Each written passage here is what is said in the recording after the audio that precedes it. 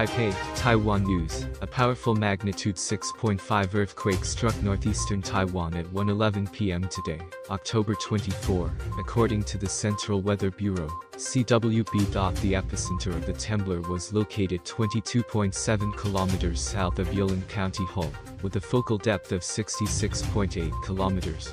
Taiwan uses an intensity scale of 1 to 7, which gauges the degree to which a quake is felt at a specific location. The quake's intensity registered as a 4 in Yilan County, Hualien County, New Taipei City, Taoyuan City, Taipei City, Taichung City, Nantou County, Hsinchu County, Keelung City, Miaoli County, and Hsinchu City.